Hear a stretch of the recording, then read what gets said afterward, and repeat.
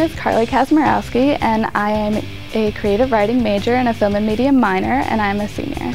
I graduated from South Milwaukee High School in South Milwaukee, Wisconsin.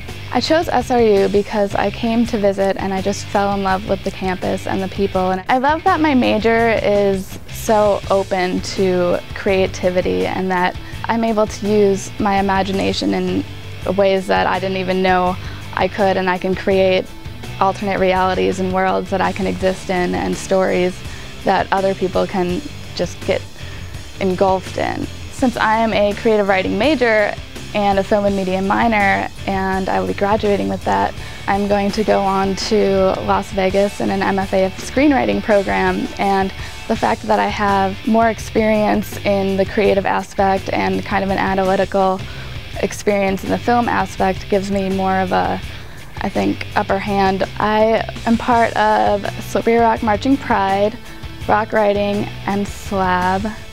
And Slab I actually only got involved in my senior year and I advise that if you're an English major, just get involved with it right away. Don't be afraid because everybody is so nice and it's such a great experience. We put out a lit mag every year and it's really exciting and it's a great opportunity.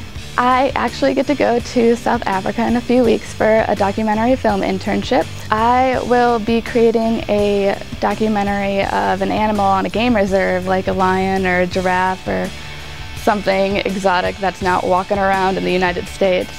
So I'm really excited for that opportunity. My advisor is Dr. Covey and he runs the Film and Media Minor and he's just amazing and he keeps it alive. He just supports me in everything that I do and he's so excited for me to go on with my future. I think I'm an SRU success story because I'm not afraid to go after what I want. I wanted to go out of state to school and here I am miles from home and I'm gonna move across the country for graduate school and go across the world for a month-long internship. My name is Carly Kaczmarowski and I am an SRU success story.